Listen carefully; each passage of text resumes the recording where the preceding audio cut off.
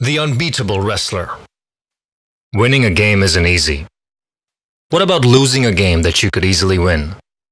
Why would anyone lose on purpose? A wrestler named Junaid was a famous winner of his city. He got so good that the king hired him to fight for him. Junaid knew amazing tricks to beat the challenges. He always won every match. People would challenge him for lots of money. He would wrestle in front of the king and the people. One day, an old and thin man asked the king permission to challenge Junaid. You're no match for Junaid. Look at you. Wind could blow you away, let alone wrestling. Just wait and watch. I have some special tricks with which I can easily defeat the royal wrestler. The match was set. Junaid and the old man began to warm up. The huge crowd was excited to watch this odd wrestling match. Why did the thin man even bother?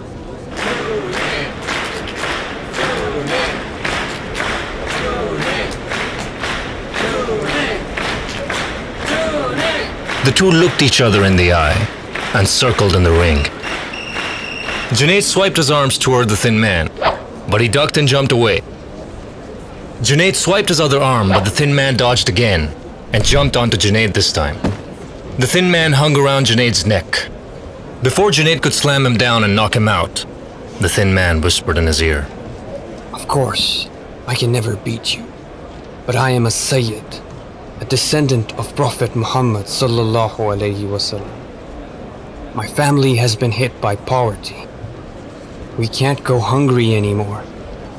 If you let me win this match, the reward will be a huge help to my family. Junaid was surprised. Instead of responding back to the weak man, Junaid started walking dizzily. He pretended to be weak and fell to the ground. The old man quickly jumped onto his chest. And the winner of today's match is the old man. I can't believe it.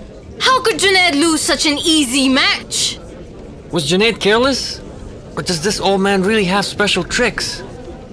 People cheered at the old man and took him to the king, where he was given many prizes and gifts. Junaid dried his sweat with his towel and walked silently away from the ring.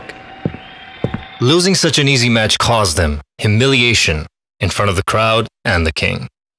He had a reputation of a winning wrestler. But that was all right to him.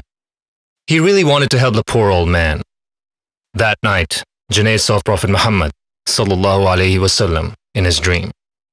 The Prophet sallallahu alaihi wasallam said to Junaid that since he had sacrificed his honor, his national fame, his name and position throughout Baghdad, for the love of Prophet's descendants who were starving. From that day on, his name would be recorded in the register of the awliya, the friends of Allah. Junaid of Baghdad went on to become a renowned scholar of Islam. He was not famous as a wrestler. He became famous for being the friend of Allah. For more stories like this, subscribe to our YouTube channel and visit our website www.luqmay.com.